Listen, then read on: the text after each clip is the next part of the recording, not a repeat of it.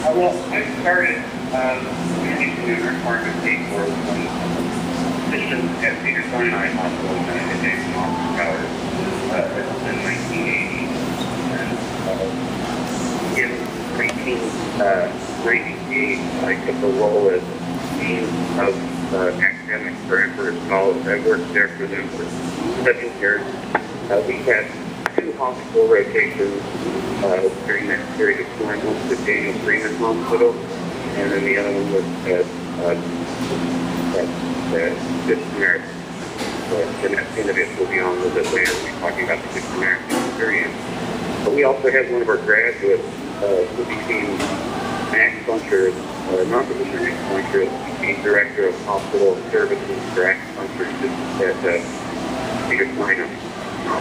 And then there was one other affiliation, Children's Hospital Los Angeles, uh, as the consultant their institutional review board. Uh, to develop a couple of institutional review boards. I think one of the, uh, the uh, places, the intersection between acupuncturist role and the physician acupuncturist role in order to the hospital environment uh, is the domain of research.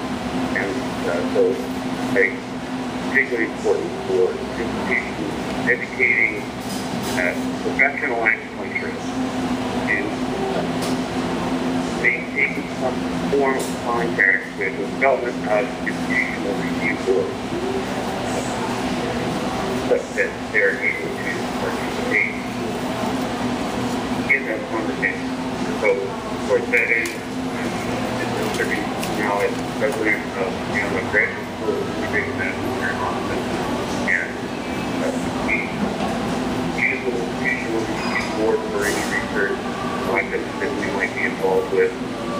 And uh, currently we have a number of medicine studies primarily on basis.